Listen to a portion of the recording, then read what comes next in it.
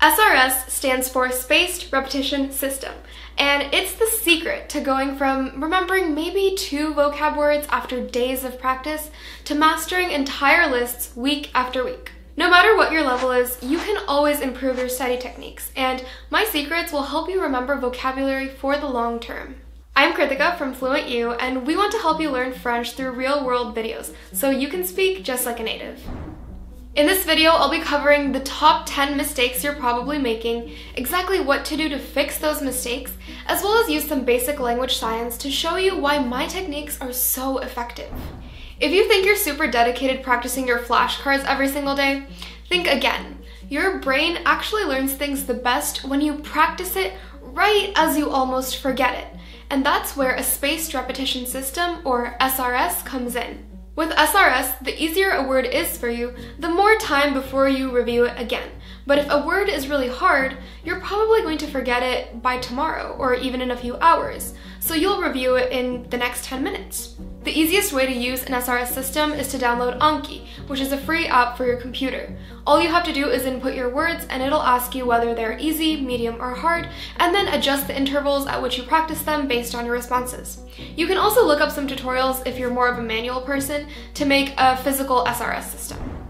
So when I was studying abroad in Paris, I felt super cool because I could communicate with everyone, I could make my way around Paris pretty easily, and I could read exactly what was on the menu. But when it came to ordering the check for dinner, I realized I had no idea how to ask for that. Thank goodness my friend was with me and she said, L'addition s'il vous plaît. But I was pretty surprised that in my five years of learning French, I had never come across this extremely important word. This is because French classes are notorious for teaching you vocabulary in categories, whether that's clothing items or pizza toppings or parts of a room. But I've never been in a conversation where I'm discussing my ceiling and my floor and my desk and my dresser, all in the same conversation. This is not how your brain intuitively learns words. Instead, you should think about scenarios. For example, if you're trying to go to the museum, you need to know different art styles and verbs related to meeting each other, like se retrouver. You need to have your numbers down so you can discuss times at which to meet, as well as words related to purchasing tickets. When you're a baby, you first learn words by attaching them to objects. That's why most children learn the word of their mom or dad first, because they keep seeing them, as well as their favorite objects, foods, or toys. So as an adult, why do you keep trying to learn words without visual aids? There is no way for your brain to connect the words that it sees to real life objects. So really, you should be switching all of your English words for pictures instead. That way, you're also not learning French by translating your English thoughts. Instead of saying, oh, that object, that's a stapler. C'est une agrafeuse. You'll just think, that object, c'est une agrafeuse. Especially with a language like French, you need to be hearing the different pronunciations of debout versus début, tréma versus très, because these nuances are important to the French language and can often change the meaning of words. So when you're practicing, don't just assume what the pronunciation is. I always use FluentU for flashcards because the pronunciation is a built-in feature. And you'll also get to hear the pronunciation of the word in sample sentences, because with French, that sometimes changes based on liaison. Let's take a really simple word like être. You can see that based on context, some people actually say être, while other people shorten it to être, and sometimes it's barely noticeable. And that's not all. Let me show you an example with the word gabane. So all you have to do is roll over and you literally get everything I'm going to be talking about. We've got a visual reference, the word and sentences, a pronunciation guide, and that allows for auditory recall because you're able to look at these video examples and simple sentences. Yep, nearly every single tip I'm about to give you all in one platform. There's a link to a free two-week trial of FluentU in the description, so be sure you don't miss out. I know we all have a voice inside our head, but when you're practicing French, I want to hear your real voice. When you're only practicing by looking at a word in front of you, you get that visual reinforcement, but you don't get any auditory reinforcement or any pronunciation practice. You have to say each word out loud so that your brain remembers hearing the word, seeing the word, reading the word, saying the word, and your tongue also gets practice making the word because your tongue is a muscle and you need to practice that pronunciation. Make sure that you're really loud and proud about it. Dessiner, oublier, bâtir, grossir, maigrir. Also, that way you're not tripping over French words while they come up in conversation. And French has a lot of difficult sounds that you should practice forming.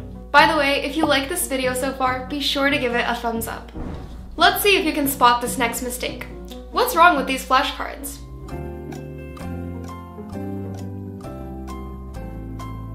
There's no articles on them. No, you won't learn the articles later, and yes, they're important. When you don't learn the articles for a word right away, then it's really hard to tack on adjectives. Is it le neige blanc or la neige blanche? It's also hard to add prepositions. Je suis à la maison, je suis aux maisons. To avoid this mistake, try writing a bell pepper instead of bell pepper, so that way you're cued in to respond with un poivron. Or if you watched our previous video and you're labeling things around your house, make sure that you always label things with their articles. And as a bonus tip, try adding both the indefinite and the definite article. So for peach, you would write une slash la pêche. That way, if you forget one, at least you remember the other. So going along with one of our previous tips, as your French gets more advanced, you will start learning words that just don't have a visual reference. For example, if you learn the word télécharger, how are you supposed to remember what that means? So to fix this problem, try adding words that you do know to words that you don't know, and make a sample sentence out of it. Je télécharge des chansons sur mon téléphone.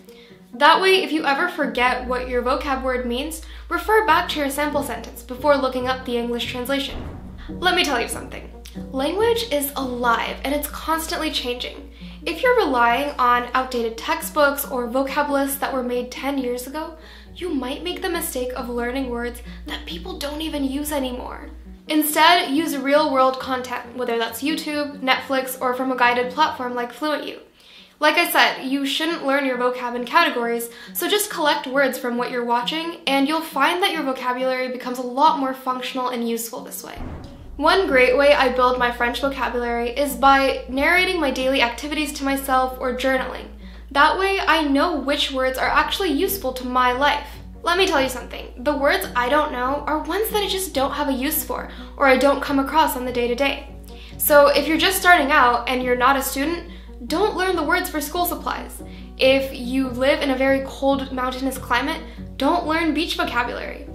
Obviously, you do want to fill in these blanks later, but in the beginning, you'll just be frustrated if you learn a bunch of vocabulary but still can't say anything that you actually want.